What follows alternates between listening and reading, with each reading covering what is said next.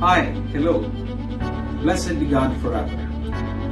Holy Rosary School of Pardo is the only Catholic institution in the South District of Cebu City way back 55 years ago.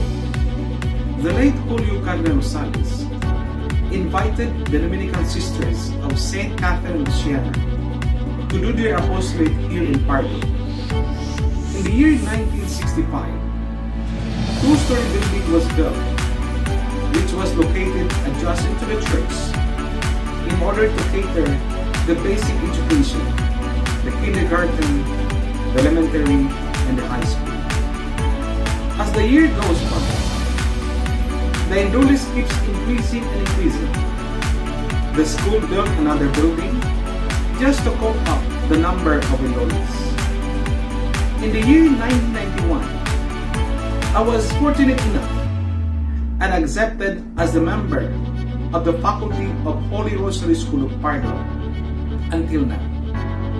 The following year, the construction of the new building, which was the San Lorenzo building, and expansion of Santo Rosario building. The school continued its mission to educate the poor and the young, inculcating the core values which firmly rooted in the gospel.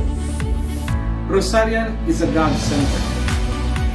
The school made a beautiful chapel adjacent to the faculty room to give space to the pupils and students, as well as the teachers to pray and to develop the culture of prayerful life. Rosarian is a truth seeker. The school vision is Holy Rosary School of Art, Catholic institution with academic excellence in the year 2020. To be globally competitive, the school updated the computer laboratory and installed the wet and dry laboratory for science and technology. To give an easy access of the students from their classroom to the computer laboratory, science laboratory, and library, the school construct a bridge connecting the two buildings, the San Lorenzo building and Santo Rosario building. The installation of CCTV camera in different designated places just to assure the security and safety of the students. Installation of router for a free Wi-Fi connection for the students and teacher in their computer activities. Rosarian is a servant leader. The development of the pupils and students is not focused on the academic aspect. Various trainings, seminars, and activities were given to students and pupils in order to discover and develop their potentials. Boy Scouts and Girl Scouts training and activities that will develop their social and emotional intelligence. The school construct a covered court as a venue of the said activities.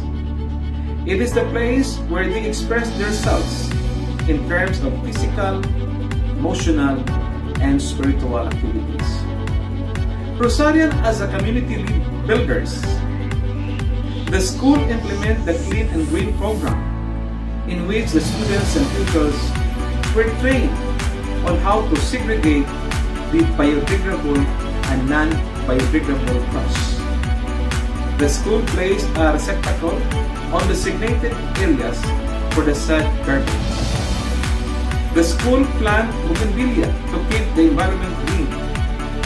As a community builders, the school extends their concern in the environment by conducting clean-up drive outside the vicinity of the church. Holy Rosary School of Pardo will continue its mission to be a Catholic institution promoting values firmly rooted in the gospel. Thank you.